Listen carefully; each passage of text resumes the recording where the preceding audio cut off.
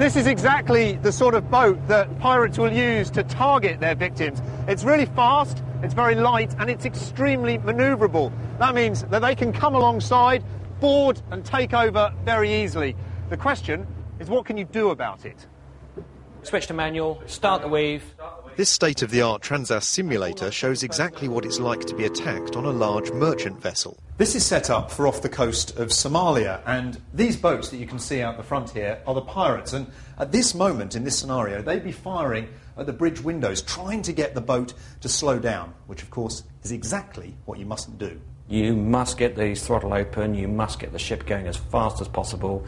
You've got to start a gentle weave to create big waves that can upset the pirate boats. You've got to get the barrels uh, over the side of the ship to prevent the pirates getting uh, close to you. You've got to get all the netting, the razor wire, and the, the necessary wood and metal grates across all of the access and walkways to stop them getting on board your ship. You've got to call the Navy for help. You've got to get the Navy on the radio to the nearest warship, and you've got to get all non essential crew into the safe area of the ship. But the Chandlers weren't on a big ship. They were on a 38 foot yacht.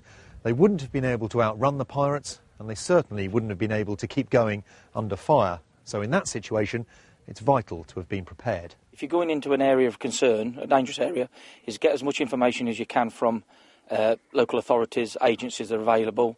Um, tell people where you're going, that, where you're running out of.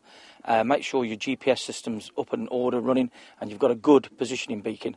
And unfortunately, if you do get attacked, don't show any form of resistance because it'll only get yourself in trouble.